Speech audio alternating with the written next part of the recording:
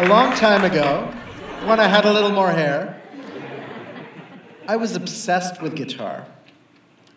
Not just the playing of the instrument, but just getting that right sound. I spent hours and hours trying out different tube amps, different pedals, different ways of changing the electronics inside my instruments.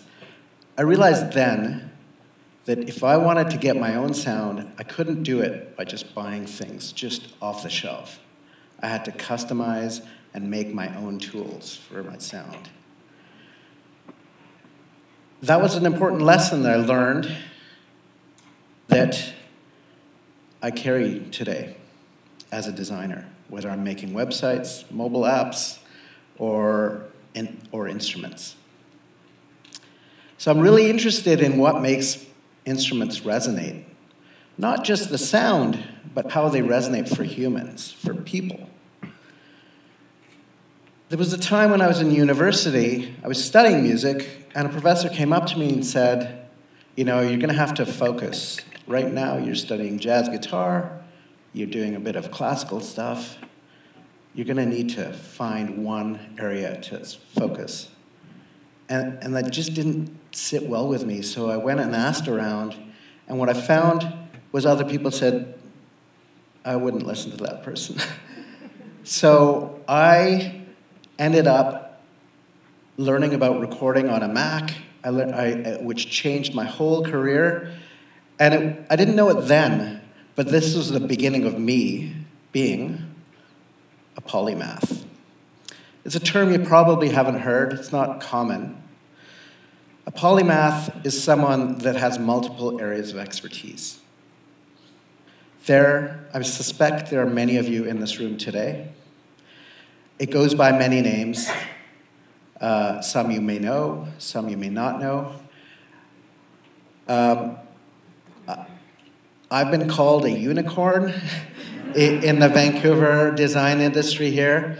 Uh, a term I, I, didn't really like that much, uh, but this was something that um, people had to uh, use as a label because they thought it was a way to describe someone that knows how to design and code and run a business all at the same time. Must be a unicorn.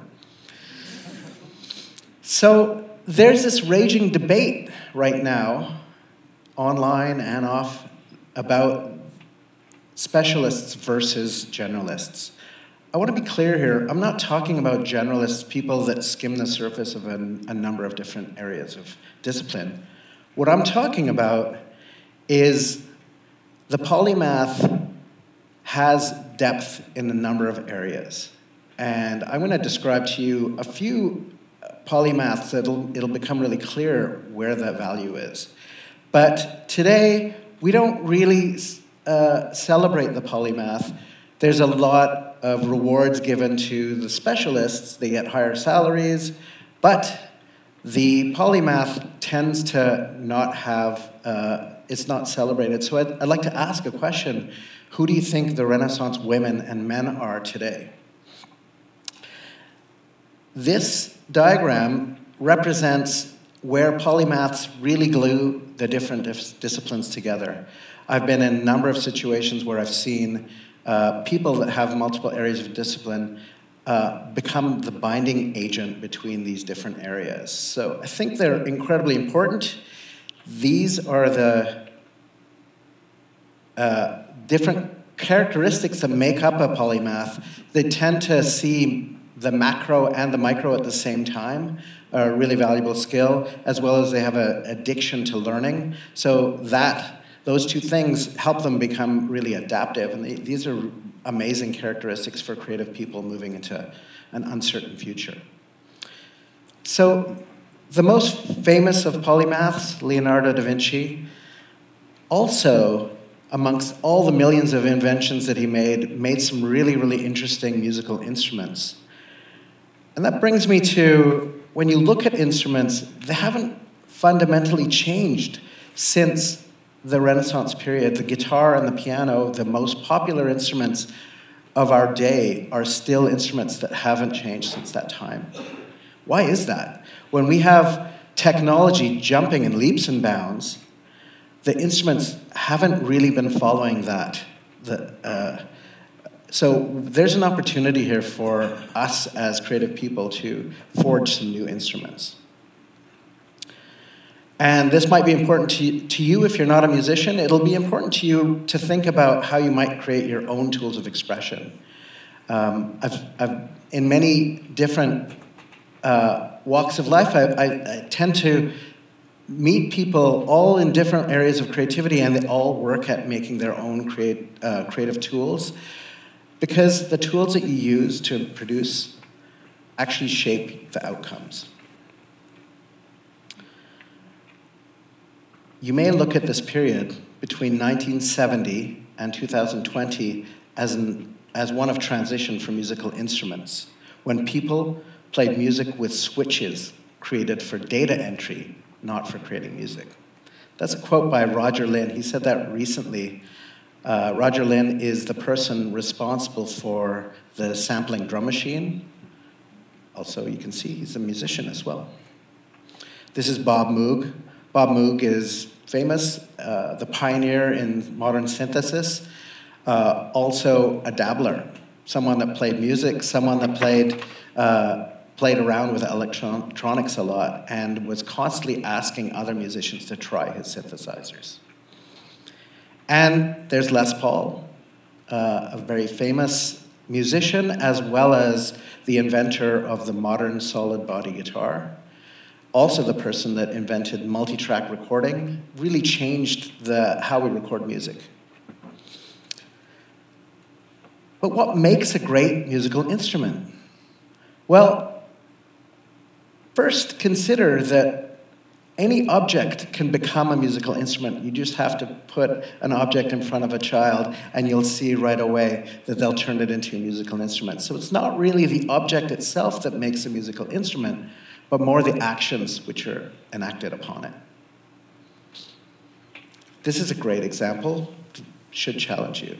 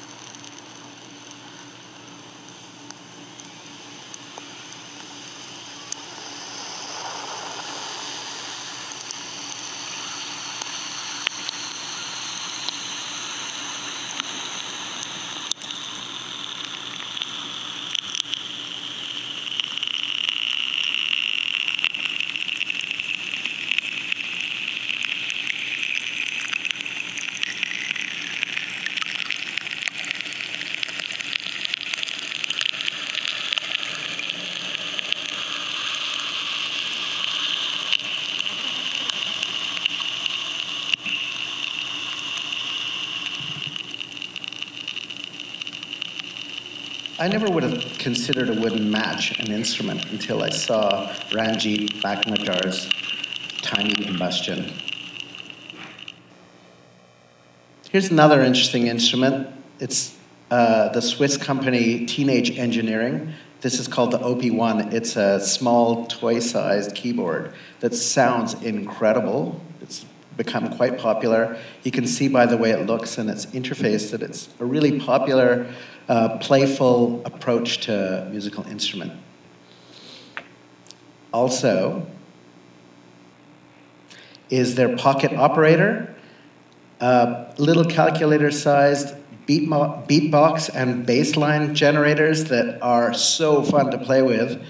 The, the thing I want to point out here is these pocket operators, you can connect them together and makes for a really interesting social uh, situation. And then there's ROLI. This is a UK company that makes a keyboard called the Seaboard that they found a way to, to uh, cover a traditional keyboard layout with a squishy rubber material that really allows a, in, uh, the player to slur between notes and move into notes, uh, uh which adds to the or maximizes the expression of that instrument. But all the examples aren't amazing. Technology is sometimes used in a way that's overpowering. Um, if you consider the way that a musician has to uh, express a note, there's a lot of nuance in which they have to play. Sometimes replacing uh, when a musician plays a string with a button isn't going to do the, the, same job. So, as musicians, we think a lot about that. Uh, that connection we have with the instrument, and it has to the, the action in, which we take on the instrument and the sound that is produced has to be incredibly uh, uh, tightly coupled. So this is getting lost when we see examples that are driven more by the technology than by musicians. So I want to stress these three points. Instruments need to be playable, they need to be expressive, and they need to be social. So I'm going to take a moment to have a little social interaction with you. Hopefully, you will play along with me.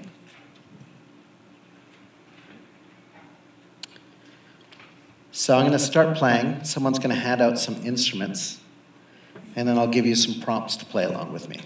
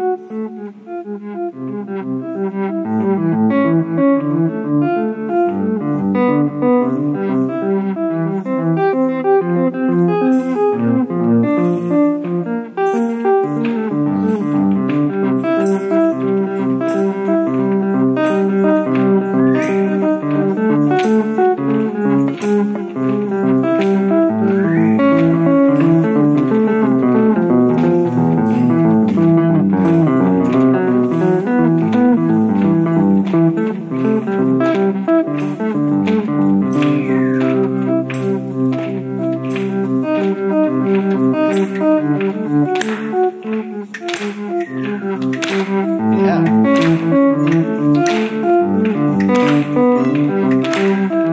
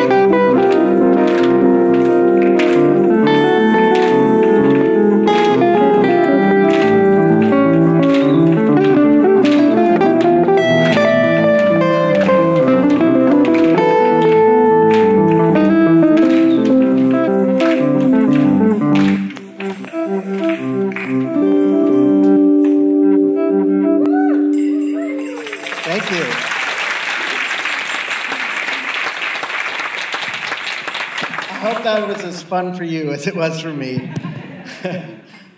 um, I want to remind you that if anyone ever tells you to focus on one thing, that you follow your passions, because you just might be a polymath too. Thank you.